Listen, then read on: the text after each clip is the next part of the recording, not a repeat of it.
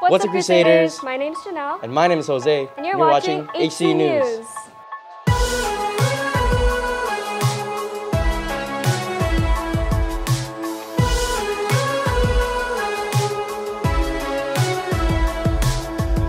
There will be a flex day on Thursday the 26th due to our annual HC open house, which will start at 6 p.m.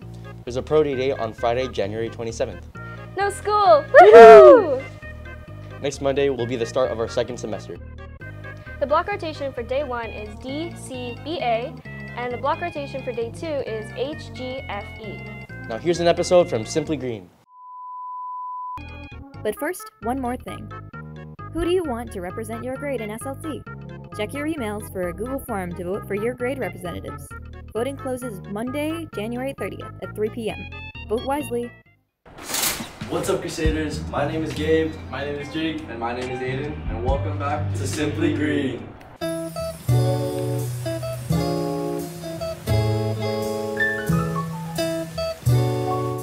In today's episode of Simply Green, we will be talking about transportation and how we can keep the environment clean with some eco-friendly alternatives. For instance, someone living in Burnaby needs a reliable form of transportation if their workplace or school is in Surrey, and having your own car is the most reliable option.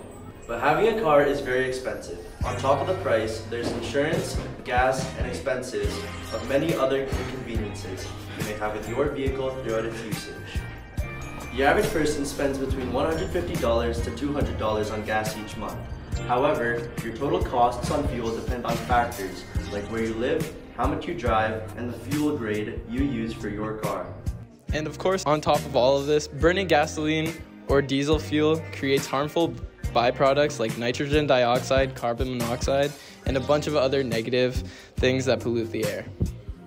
But as we know, most of us aren't actually able to drive yet, leaving public transportation as another option, being more eco-friendly than using a personal vehicle. By doing so, we reduce our carbon footprint as a whole.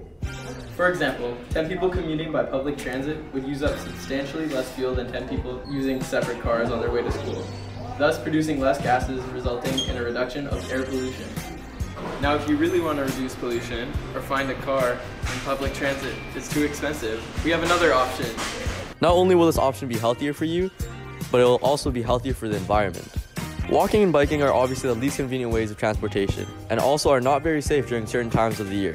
So we don't recommend doing these all the time, but at least do these as much as you can. That's all for now. Thank you for watching today's episode of Simply Green. Make sure to follow HC Goes Green on Instagram and HC Goes Green Official on TikTok.